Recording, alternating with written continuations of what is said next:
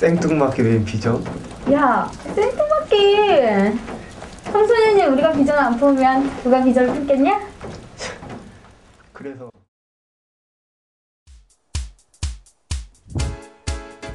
안녕하세요. 봄이에요. 겨울 지나면 봄이에요. 예, 안녕하십니까. 성공시대 나처럼만 살아라의 봄입니다. 네, 오늘 이 시간에는 그 성공에 대해서 이야기를 나눠볼 텐데요. 여러분들, 성공하면 또 세상 사람이 생각하는 성공의 기준은 무엇이 있을까요?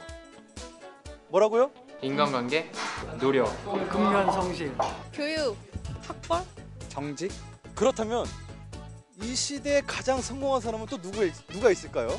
여호수아, 에스더, 다윗 요셉, 요셉 요셉, 요셉이라고 생각합니다. 예, 바로 그렇습니다. 오늘 이 시간에 그분을 제가 한번 만나보도록 해보겠습니다. 자, 저와 함께 한번 따라가 보시죠. 예.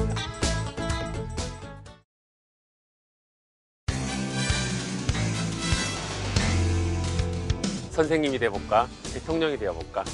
아니야, 난 끼가 있어 연예인이 돼볼까? 저는 진짜 우리 뭐 청소년 여러분들 듣고 계시겠지만 하나님을 믿고 나서부터 제 꿈의 방향과 그 다음에 목적이 이끄는 나의 삶, 비전이 이끄는 나의 삶이 바뀐 거 정말 사실이에요. 그래서 지금은 어떤 남 앞에 나서서 웃음을 주는 직업을 가지고 싶어서 가졌잖아요. 근데 어떻게 보면 그럼 꿈을 이뤘으니까 끝난 거잖아.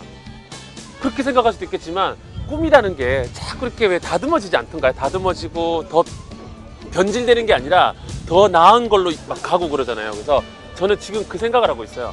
영어를 공부를 했잖아요. 남을 웃음을 주는 코미디언한 직업에 영어까지 딱 하니까 어떻게 될 것 같아요?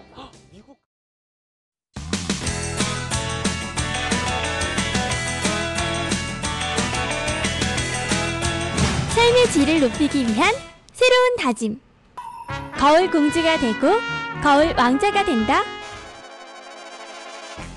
인상이 바뀌면 인생이 바뀐다. 자주 거울을 들여다보고 표정을 연습한다. 입꼬리를 살짝 들어 올린다.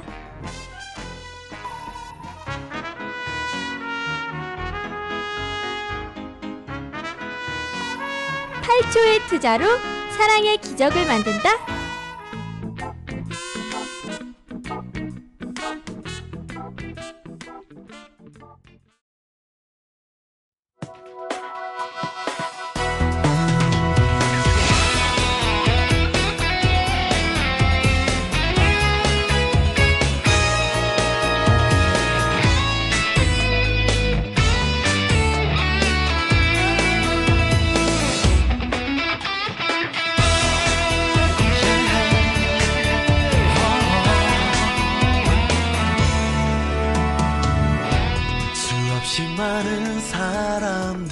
가운데 오직 너만이 할 수 있는 것. 하나님께서 너에게만 주신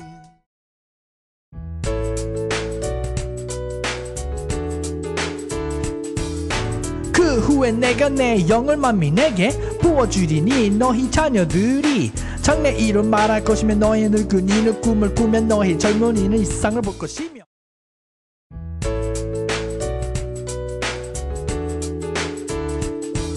And afterward, I will pour out my spirit on all people. Your sons and daughters will prophesy. Your old men will dream dreams. Your young men will see visions.